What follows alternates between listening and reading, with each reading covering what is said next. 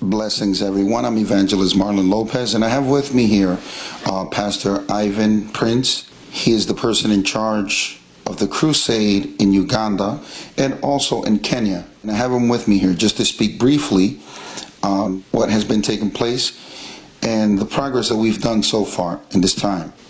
Also, I want him to speak to me about the conditions of Uganda and just the overall situation that Africa as a whole is living in, in terms of spiritualness, in terms of witchcraft, and that are common uh, matters or common spiritual issues that go on in Uganda. But I want to first welcome Brother Ivan with us. So, welcome, Brother Ivan. Yes, praise the Lord. I'm happy to be given this chance by Evangelist Marlon Lopez.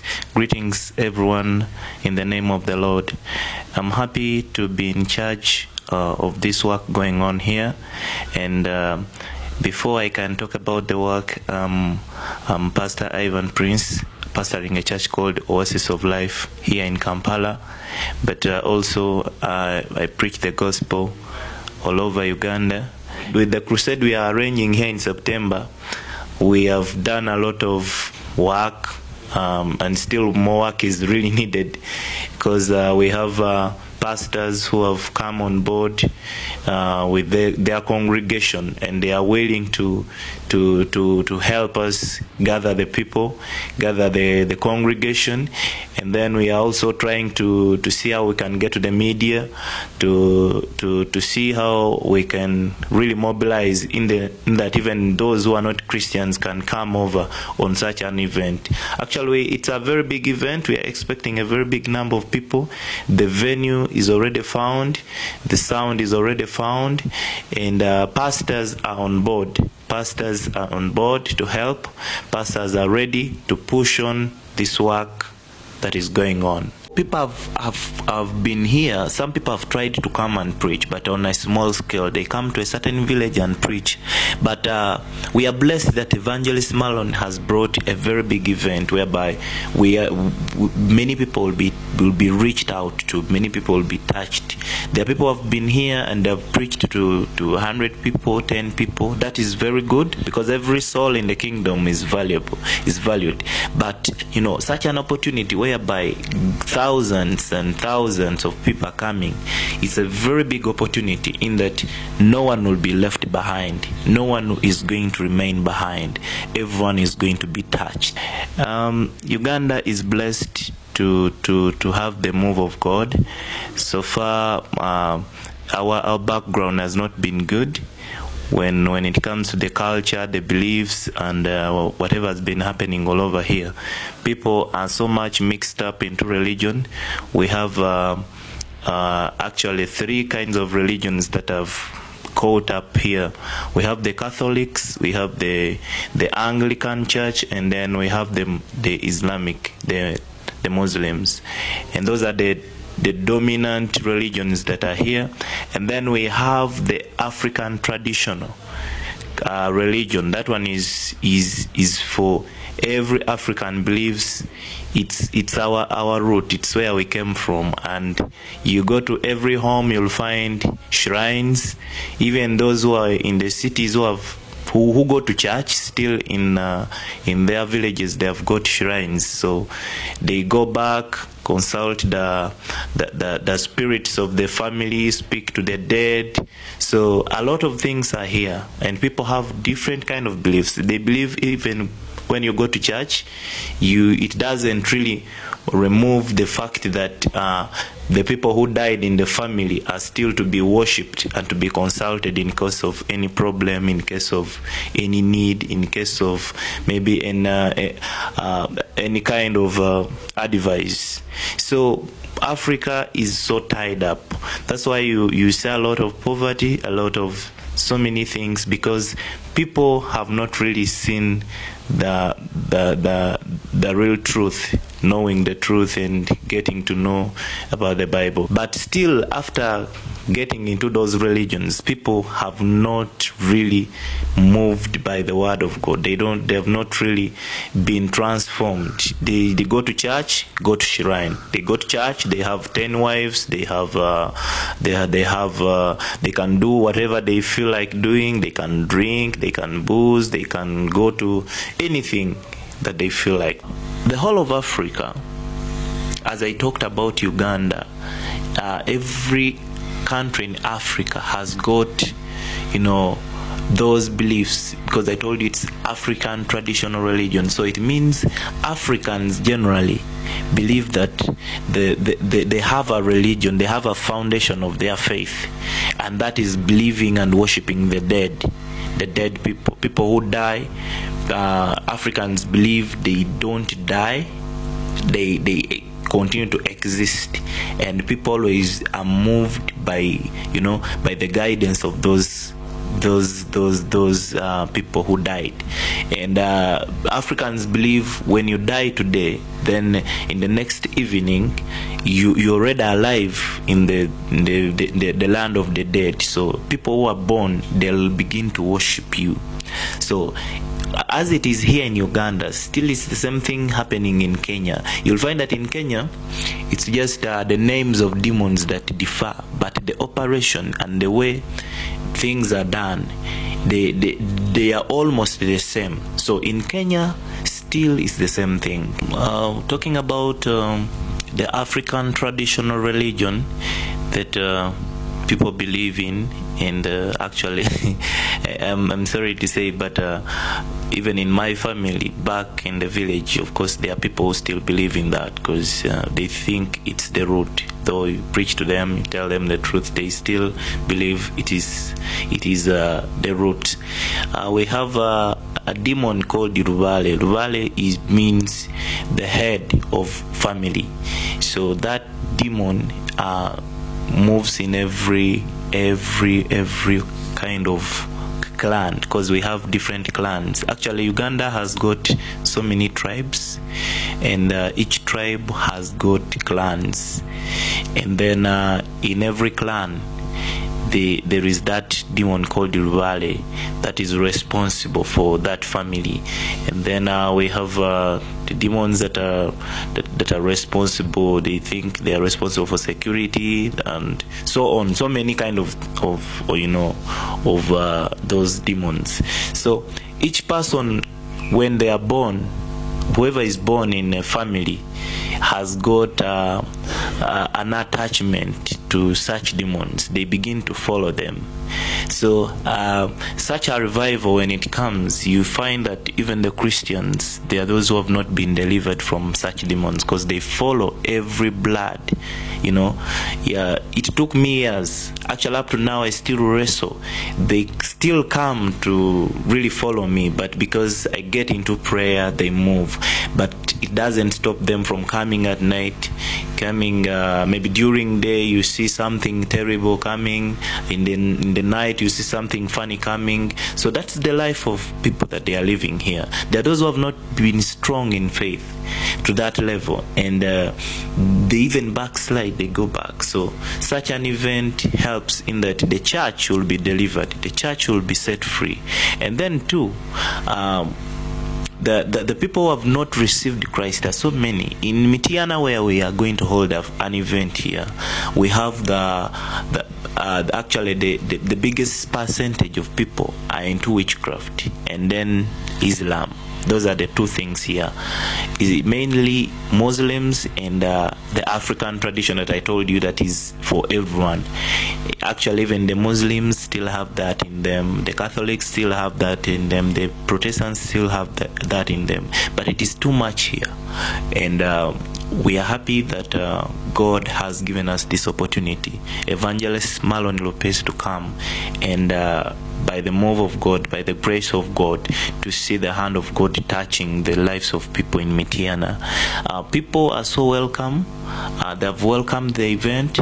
They have uh, the the pastors have really been excited. Actually, are even pastors who are ready to be delivered You know, they are ready to be delivered. They are ready to be touched by this kind of anointing that is coming over here. People have really been excited because they have problems, they have issues, they need the hand of God, they need to be touched, they need to be delivered, they need to be set free, they need God to visit them, both the, the, the, the, the, believers and the non believers. Amen. Yes, I remember when we were in the hotel, you were explaining to me about the whole, the whole African uh, culture, religion, which is which is it, it, caught my attention, and as a matter of fact, it became to me confirmation more of the preaching that I had prepared for that day. But you knew nothing about it, and in hotel, you know, and the Lord started to use you without you knowing, and you started to tell me about this whole culture, religion, and how it works. It was a great confirmation for me because then I I was able to. Um, you know, to bring that in the message and and speak on more certain on, on the message that I had for the for the people of Uganda for that time. And, and it was a great impact. The Lord moved me to make a call to those that were uh, practicing this culture, African religion, and as a result, we had we had many people that came up to the front, surrendering their life to the Lord and being delivered uh, from this culture religion that we know in reality is a practice of witchcraft, but it is in Africa it's somewhat presented as something normal, and and, and you know the outcome was great. It was many deliverances on on, on a lot of individuals that were bounded by this uh, so-called cultural religion. And and what I see is that it, this is something that has to be uprooted, you know, and it has to be uprooted spiritually because it is a spiritual matter, and that is why we we have believed in the Lord you know, that God is guiding us uh, into Africa as a whole and as a continent. But you know, we're starting out in Uganda, and we're and we're also going to expand into Kenya, and so on as the Lord guides us. Now, you know, we are investing a, a great lot of money in this event, in this revival, because we are trusting in the Lord. You know, our I, I remember that the initial budget um, that you presented to us was almost uh, eighty thousand dollars or so and I remember that I asked you to make some cuts because you know uh, we wanted to reach not only not only Uganda, but also but we also wanted to reach in Kenya.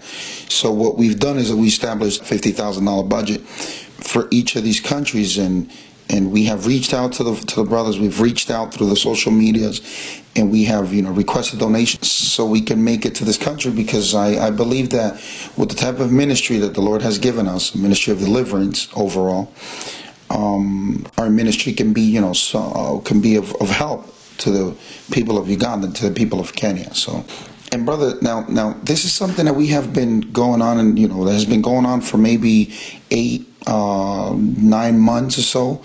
That has been carefully thought and has been carefully organized.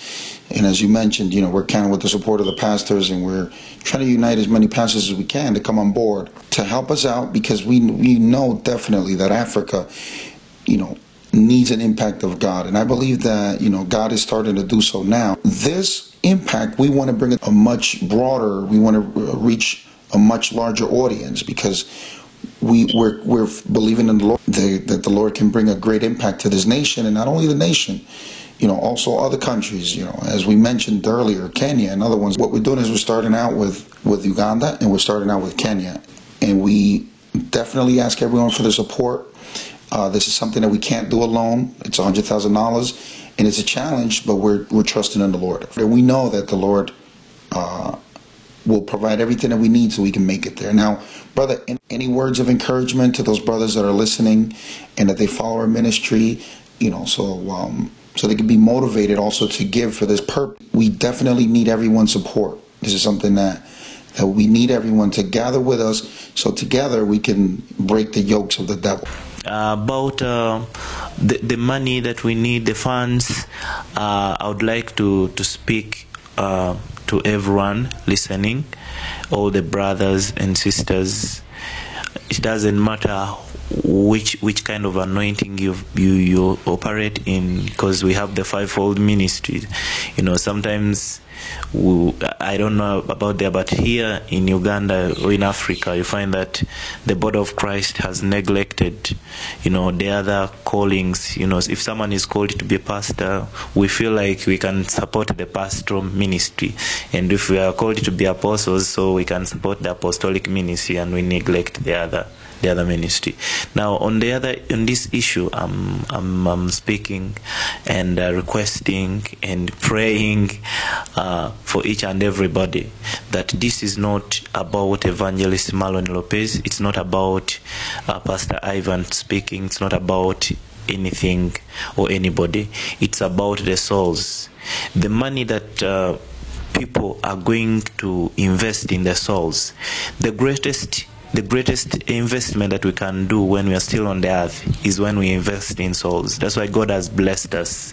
He blesses us so that we can bless the, the nations with the gospel. So that is a very big investment. Every money that you invest in the kingdom, one time God is going to reward you.